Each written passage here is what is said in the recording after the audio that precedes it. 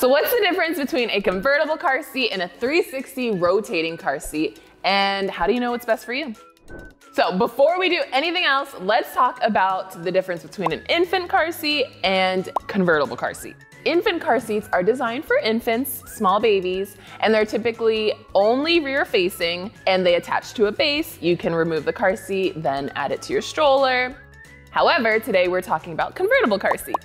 Yeah, and you want to buy a convertible car seat because it is rear facing and forward facing and grows as your kid as they grow, can even turn into a booster. And a 360 rotating car seat is the same as a convertible car seat, still grows with your child. However, it's a little more convenient because it rotates. We've done our homework on these two popular car seats and we are going to compare them based on price, weight limit, ease of installation, and size. Convertible car seats on average cost about 250 to $300. As for rotating seats, on average, they cost around $350 to $400. And that's because they rotate. So you're paying for convenience. So convertible car seats are big and rotating car seats tend to be even bigger.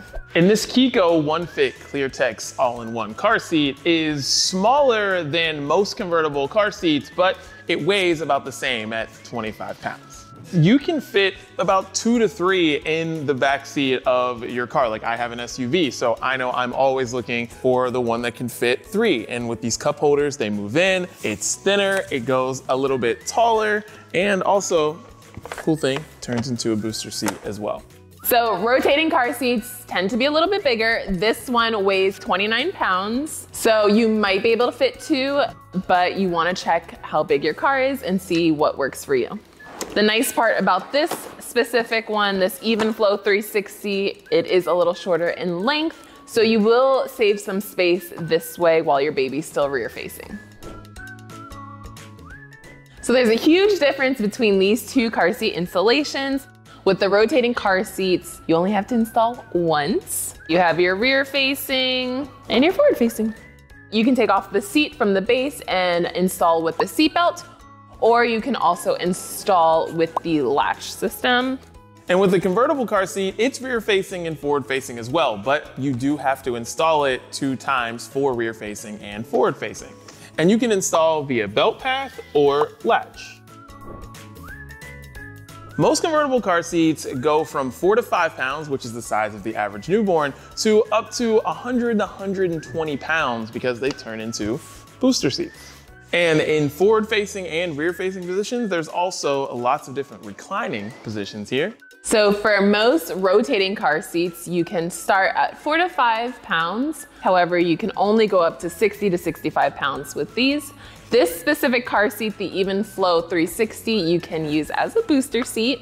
So this one will last you up until about 100 pounds. As for the positions of this car seat, you can rotate, and it also reclines in a few different ways. You can lift it up, recline it more, and then you can bring it back around for forward facing. So now let's talk about which one of these is actually best for you. I would say, you know, if you're a smaller person, you maybe only have one child right now, you're dealing with some back pain because it's hard, I would go with a rotating car seat for the convenience. And if money is a factor, or if you have a smaller car, or if you need to, you know, get multiples of these, I think the convertible car seat is probably best for you. Now, for me personally, I would go with this specific rotating car seat just because I love, I gotta show it one more time. I love how little it is this way. My baby's still rear facing. I have a tiny car. This is perfect. This car seat is best for me. The convertible car seat is definitely best for me because I need to buy multiple of these and I need to have three of them soon that are gonna be, you know, in the back seat of my car. All right, so we wanna know which one works best for you. Let us know down in the comments.